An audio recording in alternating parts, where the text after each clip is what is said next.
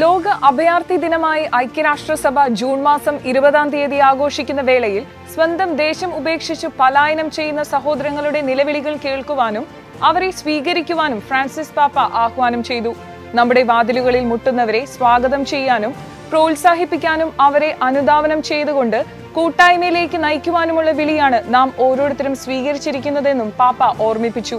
June പത്തൊമ്പതിന് വത്തിക്കാനിലെ വിശുദ്ധ പത്രോസിന്റെ ചത്രത്തിൽ നടന്ന പൊതു കൂടിക്കാഴ്ച വേളയിലാണ് ഫ്രാൻസിസ് പാപ്പ അഭ്യർത്ഥന നടത്തി സംസാരിച്ചത്.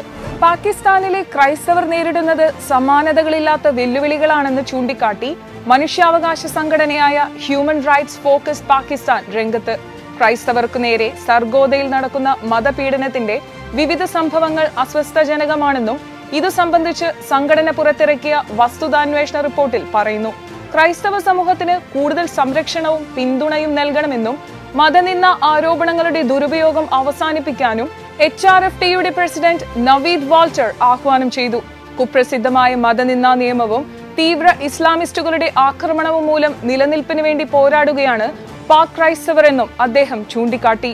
വാടക ഗർഭധാരണം സ്ത്രീകളുടെയും കുട്ടികളുടെയും അന്തസ്സിന്റെയും അവകാശങ്ങളുടെയും ഗുരുതരമായ ലംഘനമാണെന്നും അതിനാൽ ഇത്തരം സമ്പ്രദായങ്ങൾക്ക് പരിപൂർണമായി വിലക്ക് ഏർപ്പെടുത്തേണ്ടത് ഏറെ ആവശ്യമെന്നും വത്തിക്കാനിലെ അൽമായർക്കും കുടുംബത്തിനും ജീവനും വേണ്ടിയുള്ള ഡിക്കാസ്ട്രിയുടെ ഉപകാര്യദർശി ഡോക്ടർ ഗബ്രിയല ഗാംബീനോ പറഞ്ഞു.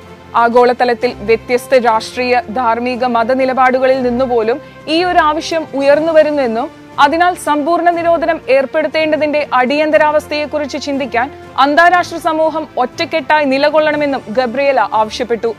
നമ്മുടെ പ്രാർത്ഥനയെ യാചനകളിൽ ഒതുക്കരുതെന്നും കർത്തൃപ്രാർത്ഥനയിലെ അങ്ങയുടെ ഇഷ്ടം നിറവേറട്ടെ എന്ന് പ്രാർത്ഥിക്കാനാണ് ശ്രമിക്കേണ്ടതെന്നും ഫ്രാൻസിസ് പാപ്പ. ഇന്നലെ ബുധനാഴ്ച വിശ്വാസികളുമായുള്ള പ്രതിവാര കൂടിക്കാഴ്ചയ്ക്കിടെ സന്ദേശം നൽകുകയായിരുന്നു പാപ്പ. നമ്മുടെ ഹൃദയത്തോട് സംസാരിക്കുന്ന സങ്കീർത്തനങ്ങളോ സങ്കീർത്തന വാക്യങ്ങളോ ഉണ്ടെങ്കിൽ അവ ആവർത്തിക്കുകയും ദിവസത്തിൽ പ്രാർത്ഥിക്കുകയും ചെയ്യുന്നത് നല്ലതാണ്. സങ്കീർത്തനങ്ങൾ എല്ലാ കാലത്തിനും പറ്റിയ പ്രാർത്ഥനകളാണ്. മറ്റെല്ലാ പ്രാർത്ഥനകളിൽ നിന്നും വ്യത്യസ്തമായി സങ്കീർത്തനങ്ങളുടെ ആവർത്തനം അവയുടെ ഫലപ്രാപ്തി നഷ്ടപ്പെടുത്തുന്നില്ല. മറിച്ച് അത് വർദ്ധിപ്പിക്കുകയാണ് ചെയ്യുന്നത്. ഓരോ തവണയും വിശ്വാസത്തോടെ വായിക്കപ്പെടുമ്പോൾ അവ ദൈവത്തിലേക്ക് അടുപ്പിക്കുന്ന മനോഭാവം ഉളവാക്കുന്നുവെന്നും പാപ്പ കൂട്ടിച്ചേർത്തു.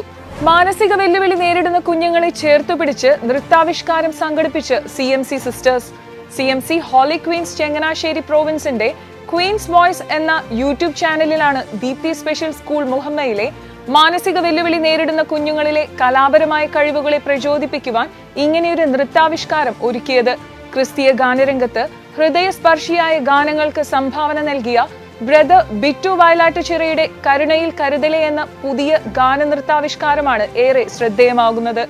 ഇതുപോലെ മാനസിക വെല്ലുവിളി നേരിടുന്ന കുഞ്ഞുങ്ങളെ മാറ്റി നിർത്തുവല്ല മറിച്ച് അവരുടെ ഉള്ളിലെ കഴിവുകളെ തിരിച്ചറിഞ്ഞ് പ്രോത്സാഹിപ്പിക്കുകയാണ് വേണ്ടതെന്ന സന്ദേശമാകണം ഈ ഗാനനൃത്താവിഷ്കാരമെന്ന് നമ്മെ ഓർമ്മിപ്പിക്കുകയാണ് സി എം സി ചങ്ങനാശ്ശേരി പ്രോവിൻസിലെ അംഗങ്ങൾ.